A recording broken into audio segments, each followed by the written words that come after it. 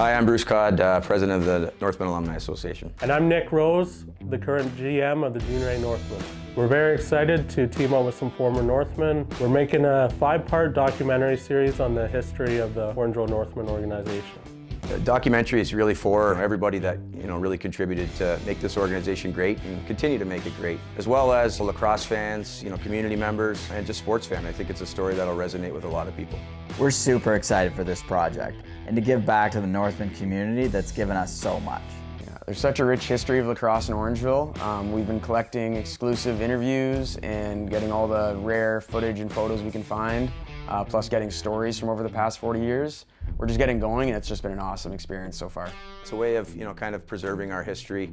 Uh, it'll tell the story, you know, of the men and women that built the organization, the teams and the people that came after that to keep the tradition going. We know that this is a big project that will take a lot of time and effort, and we are really hoping for your support.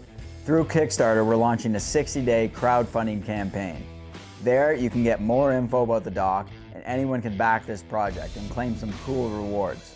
Follow along on social media and check out this teaser trailer we put together for a little taste of what's to come.